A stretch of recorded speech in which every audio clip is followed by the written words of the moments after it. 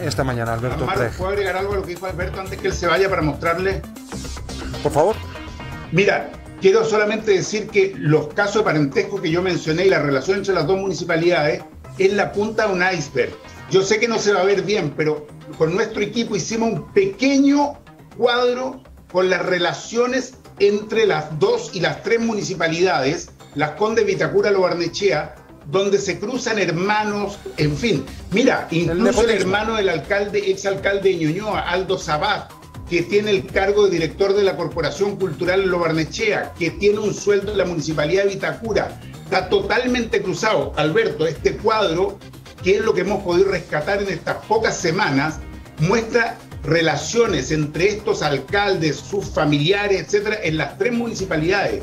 Miles de millones de pesos con gente que está necesitando estos recursos para salud, educación, vivienda o seguridad, que es un gran tema en estas tres comunas y que han terminado en este bolsillo payaso de las corporaciones que no son más que mecanismos a través de los cuales estos alcaldes. El alcalde, el exalcalde Guevara, solamente te quiero agregar, el exalcalde Guevara, yo lo denuncié el año 2018 por recibir miles de millones de Anglo American.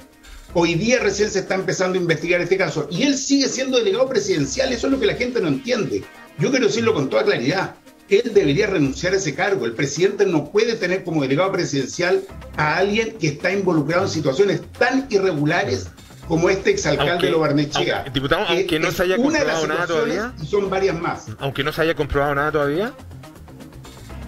Pero, a ver, tú no puedes tener en un cargo a alguien que está claramente relacionado con una serie de irregularidades. La lista que yo tengo acá no alcanzamos a darla. Yo la puedo compartir con Canal 13 con mucho gusto. Son una serie de situaciones que involucran a estas organizaciones. Te acabo de mencionar que Barnechea Servicios, donde está Antonia Larraín Prieto, recibió 720 millones de pesos un año, 300 millones de pesos el otro año.